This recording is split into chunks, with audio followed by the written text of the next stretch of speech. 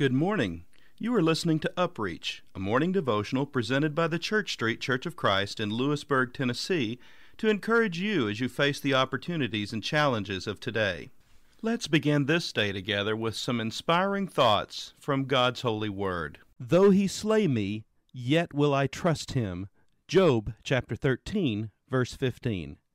Howard Williams says that often the whole of the Christian faith is contained in the word nevertheless. It happens when prayer seems to be unavailing. Studdert Kennedy writes of Jesus Christ, He prayed to the Lord, and he sweated blood, and yet he was crucified. There is a time when all we can say is, Nevertheless, not my will, but yours be done. It happens when faith seems to be a losing battle. Studdert Kennedy has his own unorthodox way of putting things, and once in his rich Irish brogue he announced from the pulpit to the shocked astonishment of a conventional congregation, There comes a time in every man's life when he must wonder what it is all about. He writes of himself, Every man, whether Christian or not, must sooner or later stand in the last ditch face to face with the final doubt. I know that last ditch well. I have stood in it many a time and I know that before I die I shall stand there again and again.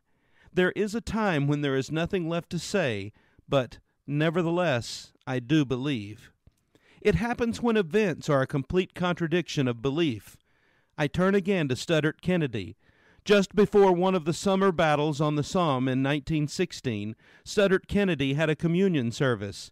There was present a young corporal in the full glory of his splendid physical manhood.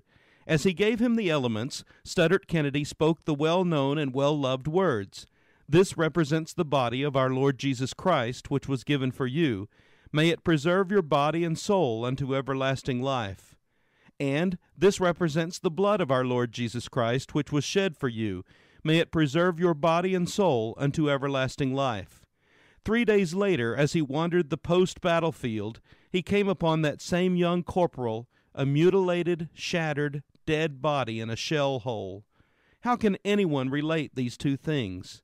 There comes a time when one can only say, Nevertheless, this will not take my faith away. What about you today? Are you experiencing events in your life that are leading you to say, Nevertheless, not my will, but yours be done? Or, Nevertheless, I do believe? Or even, Nevertheless, this will not take my faith away? Why not lean with faith upon the Lord and say confidently with Job, Though he slay me, yet will I trust him.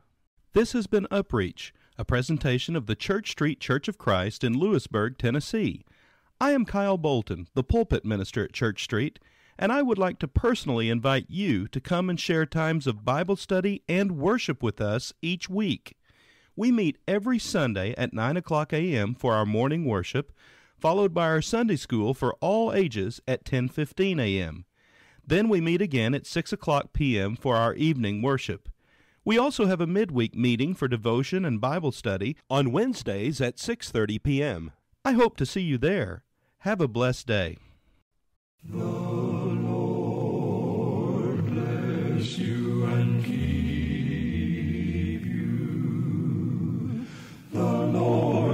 his countenance upon you and give you peace. And give you peace. And give you peace.